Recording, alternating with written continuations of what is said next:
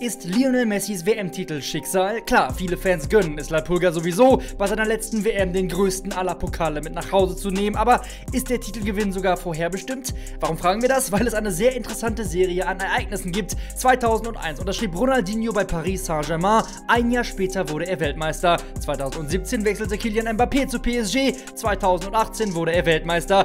Ihr wisst, worauf wir hinaus wollen. 2021 unterschrieb Lionel Messi bei PSG, 2022 2020 steht er im Finale der WM. Klar, wahrscheinlich gibt es haufenweise dieser Statistiken, aber ein gutes Omen ist es allemal.